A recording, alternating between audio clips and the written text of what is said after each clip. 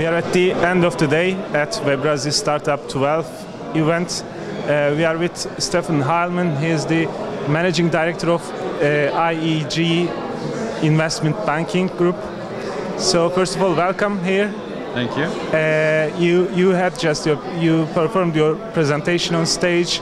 Uh, it was a great presentation, and it was about do's and don'ts for founders who are looking for capital. So, what are the I don't want you to repeat all the presentation, but what are the most significant do's and don'ts for founders? Well, you know, as I said, I, I, talked about this now 20 minutes. Um, probably one of the key important takeaways is, and that's the advice which always comes for free, if founders are or behaving like they are, be like you like you are. It's probably one of the biggest assets because that's the strength. That's how they started their business. So changing their their vision, their their their appearance, their speech, their presentation it doesn't really make sense. So that's something which I always give as a first advice to any founder. You know, um, there, there is a good saying about Edith Piaf: use your um, use your defects, and then you're going to be a star. So that's pretty much like this. You know, you have strength and you have um, weaknesses. Um, try to convert the weaknesses into strength, and then you, you're a good entrepreneur. So uh, you probably have met with lots of founders so far. So how many of them follow these do's or they, they it's a majority or a minority?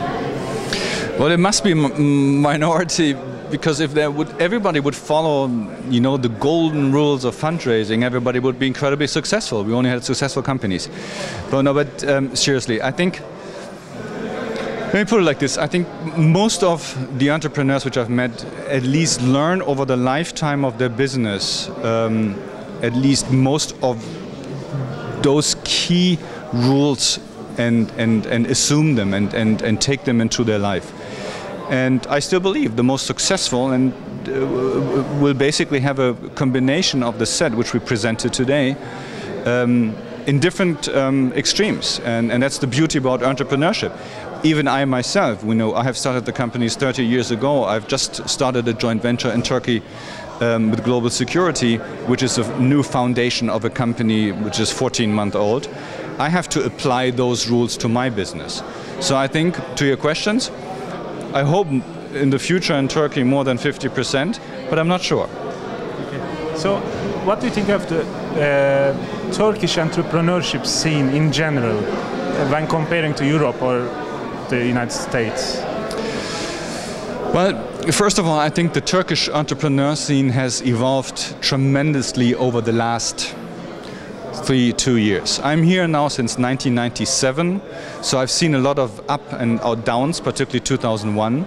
But since 2003-4, there is a young, powerful um, wave of entrepreneurs in different sectors, really in different sectors, evolving in Turkey, which is which is wonderful.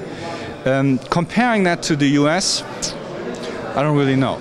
I, I, have to I have to quit. Yes, the US is more sophisticated. Yes, the US is bigger as the home market. Yes, the US has English as a global language.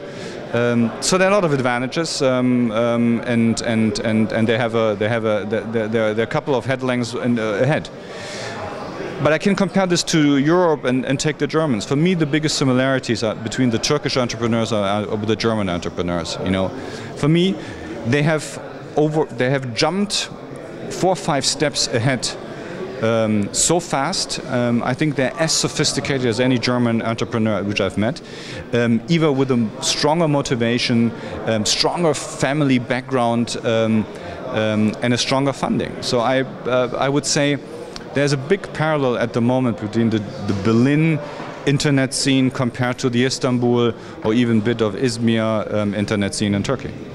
Okay, thank you. And finally, what do you think about this event? How do you find it?